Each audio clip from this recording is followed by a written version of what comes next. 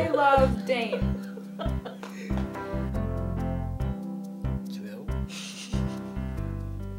I have lived with my brother for 17 years. He's my older brother. I have known nothing different than to have someone like him in my life. And I know him. And I know what he's capable of, and I know who he is, and I know his heart, and I know what makes him happy, and I know what makes him sad.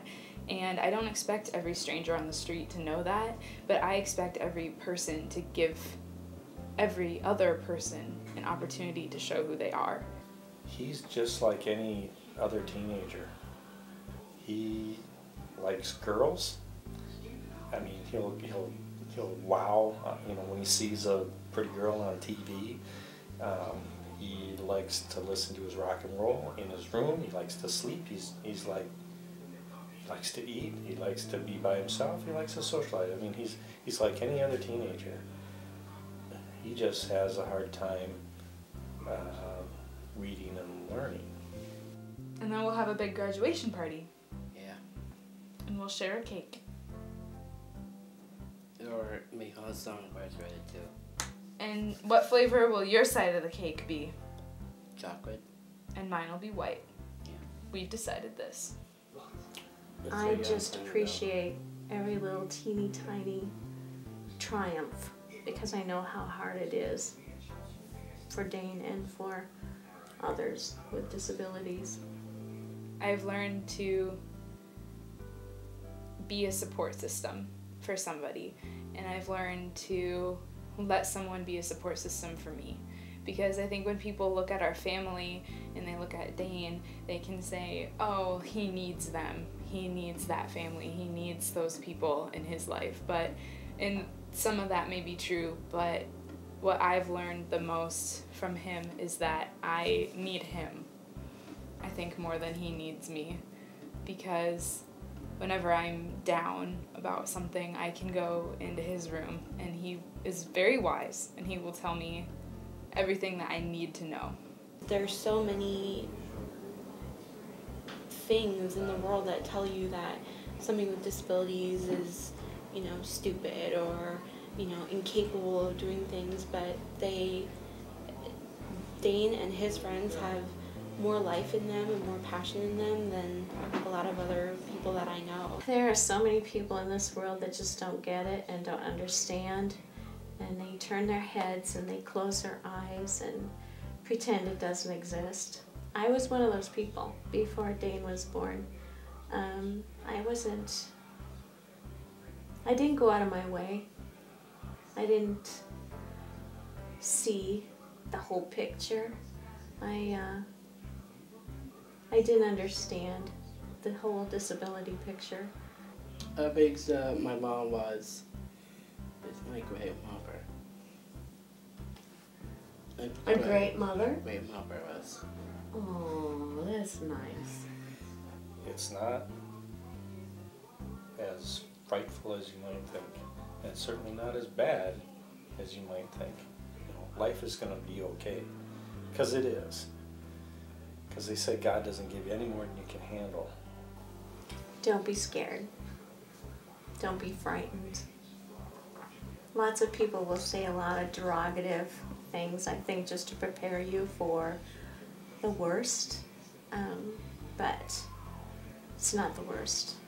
It could be so much worse. He doesn't look at people as being right or wrong or different or the same or normal or with disabilities. He sees everybody as just a regular person. When he laughs, it's so sincere and real. It's not forced. It's not. It's just real, hearty belly mm, laugh. Two.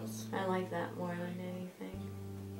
There was one night where we were brushing our teeth, getting ready for bed, and I don't remember what happened. If I, I might have like tried to put soap on my toothbrush instead of toothpaste. I don't remember what it was, but Dane just looked at me and he said, "Poor Anna, she's dumb," and I started laughing so hard because I was like six, so he was like eight, and it was I don't know that was funny. that was really funny. Do you love Anna? Yeah. A lot. I got a year. A A year. His sense of humor cracks me up all the time. He comes up with things out of the blue. He remembers things from way, way back. He's very animated. Uh, he's he's like a live cartoon. There are a lot of things that I would say to ignorant people. People who are ignorant toward mental disabilities. I don't think there's enough that I could say to them. Don't stare. Cripe, that annoys me. Don't stare, you know. I when he was little, people would stare and and our daughters would get annoyed and my wife would get annoyed and I would get annoyed too, but I'd, I'd think, well, they're probably staring at him because they're trying to figure out, is he just this little cute lollipop of a kid or, or does he have a disability? It was, it was kind of hard to tell at times. Now he's gotten older and, and you can tell something's different, but it really annoys me when people stare. The thing that gets me the most mad when it comes to that ignorance is people who throw the word retarded around as if it's a synonym for the word stupid. That really makes me mad because Dane is the smartest person I know. And when people say things like that, it makes my brother and all of his friends stupid.